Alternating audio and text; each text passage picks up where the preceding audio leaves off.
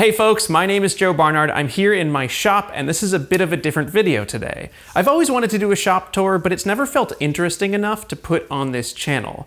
Then, one day a little while ago, a company called Astranis got in contact with me. Astranis is sponsoring this video, and they're a company up in San Francisco that builds geostationary satellites. They're like a legit aerospace operation. They just launched their first geo satellite on board a SpaceX Falcon Heavy in April, and it's been happily working on orbit since then. Astranis' goal is to build geosatellites smaller, faster, and cheaper, and they're starting out with this one as the first of many communication satellites in their fleet. They were interested in working together on a video, and I pitched this kind of ridiculous idea to them. You know that video that's like $10 cheeseburger versus $1,000 cheeseburger? What if we did that, but like aerospace companies. To start off, we're here in my garage, just got this brand new CNC here. Here in my garage, just bought this uh, new Lamborghini here. This is where a lot of the metalworking happens. The tools that I use the most are the drill press, the chop saw, and then the band saws, both horizontal and vertical. These machines are a staple of most shops, and you can get a ton done on them alone if you're just working with those. Now, rockets are tubes, they're cylinders, which means that a lathe is an important part of any rocketry machine shop. This is a cheap import lathe that I got off of eBay a few months ago, and it's one of the best purchases I've made, even though the quality on this machine is pretty poor. I follow Adam Savage's rules for buying tools, which is essentially that when you're buying tools, you should start out buying the cheapest version of the tool you can get. Then, when that cheap tool kicks the bucket, that's the time that you should upgrade to the nicer one. When you're getting started, you don't know how much you're gonna use a tool. And when I bought this lathe, I didn't know that it was gonna spend every week doing hours of machining time. I didn't know that I would need it that much. So once this thing kicks the bucket, I am gonna get a real nice lathe and we're gonna replace this. On the opposite end of the spectrum is my horizontal bandsaw. I got this thing for super cheap and I'm glad that I didn't spend a bunch of money on it because I hardly ever use it. And actually, if you look close, this is Xyla Foxlin's old bandsaw. She gave me this thing when she moved to a bigger shop a little while ago, and this is a great way to get tools. You can get them used on Craigslist or eBay for a lot less than you would spend new, and I recommend doing that if you're trying to save a few bucks. Thanks, Xyla. And finally, we come to the heart of my little machine shop, which is the Tormach PCNC 440 mill. This thing builds all sorts of parts, and it's the perfect size for the rockets that I'm making. Having a CNC helps speed up rocket building in a way that is a little weird sometimes. Often, I'll make parts on this mill that should be done with a lathe, basically cylindrical shaped parts. But if the part doesn't need to be perfectly centered with the circles I'm cutting, the CNC lets me make those parts without babysitting a lathe for a few hours. There isn't a whole lot else to cover in my little machine shop here. These are the big tools, the heavy hitters, so let's head over to Astranis and see what they use to fabricate things. The machine shop for Astranis is considerably larger, which makes sense given that the whole facility is about 153,000 square feet. On the more basic side, the facility has a solid lathe, a classic Bridgeport knee mill, and a huge horizontal bandsaw. These things are all great and they're important tools to have, but the real magic there is in the CNC mills. When I visited the facility, they had three CNCs running, each with a slightly different goal, and I'll let one of the machinists, Jeff, tell you a little bit more about them. So we added a Haas for doing mostly three-axis mill work, so it's like kind of like what your Tormach and stuff. Yeah. This is one of our like major major purchases, and these are uh, like large scale uh, five axis Matsuura.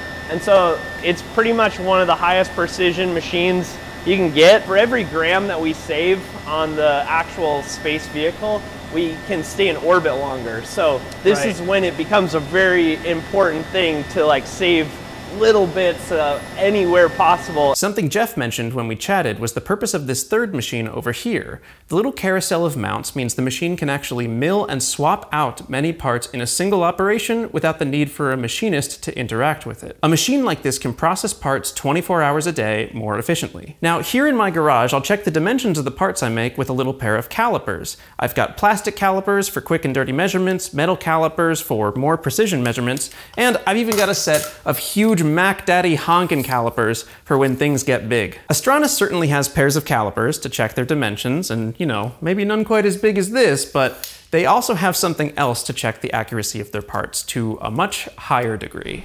Here, come on, come on in. This is our final step on our inspection process. So one of the coolest parts about this thing is how precise this thing is. Got the capabilities of measuring into the like basically like micron, submicron level. This machine has a tiny probe on the end, and it exists in a climate-controlled room on a solid slab of granite to check the dimensions of parts with unbelievable precision, far more than a standard pair of calipers could.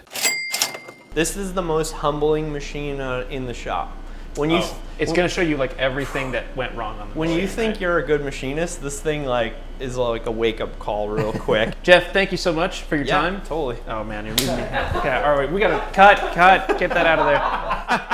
Now that we have the machine shop covered, let's head to the back room and check out the electronics shop to see what's going on there. This is where I build all the electronics for the rockets I fly. There aren't a bunch of big fancy tools in here, but there is one big tool, and that's desk space. Desk space kind of works like a gas. Basically, whatever junk you have will fill the desk space you have, no matter how much. If you can't tell, my desks usually aren't in this nice of a state. This desk over here is my favorite. It has a pegboard for hanging tools, which I find really helpful. It also has a light, which makes those top-down shots that I like so much very easy to shoot. I've got a little point-and-shoot camera that's always mounted up there so I can get top-down shots whenever I need. As far as the specific tools that I used most, those are going to start with the needle nose snippers, needle nose pliers, vice grips, and wire strippers. All of these are like mostly essential for electronics. You can certainly get away with less. I mean, you can strip wires with your teeth pretty well, but your dentist will call you on it eventually. For larger instruments, I've got a power supply up to 30 volts and 5 amps, a good voltmeter,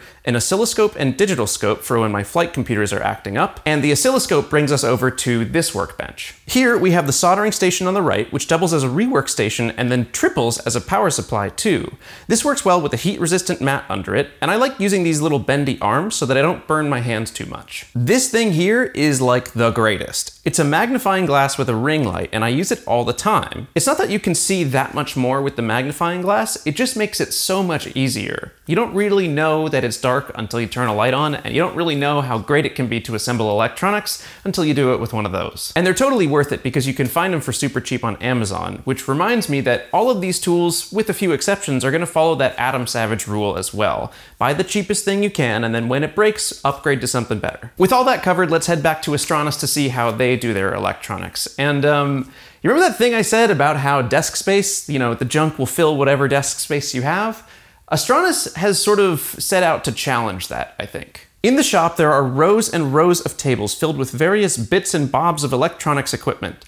Honestly, they may have found the limit where there's just not enough junk to fit this amount of table space. I suspect the real reason, though, is that Astranis is gearing up to build far more satellites. Back to the electronics benches, the setup isn't actually that much different. It's just, you know, much larger. Across these benches, they've got soldering stations, rework stations, power supplies, and some very fancy cabling. We have a bunch of our extra wire for stuff. This is of extra wire.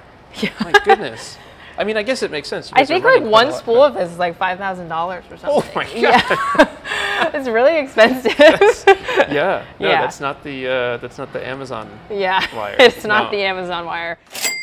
One major difference with the electronic setups here is that while Astranis will build their cables and rework boards in this facility, they do their testing and final board integration in a special ESD safe room where we visited next. Here, all of their PCBs get tested and hooked up to their enclosure, and this room is also incidentally filled with tables and lots of fancy equipment. Now, I didn't ask if I could take any of their equipment home, but you know, what if what if they just lost one of their oscilloscopes and like who knows where it went probably don't ask any questions about it maybe this isn't good to put in a sponsored video the other thing that happens in this room is all of the programming of their flight computers and controllers Um, this is actually a what we call it a backplane. This is where we plug in a uh, flight computer to be uh, programmed.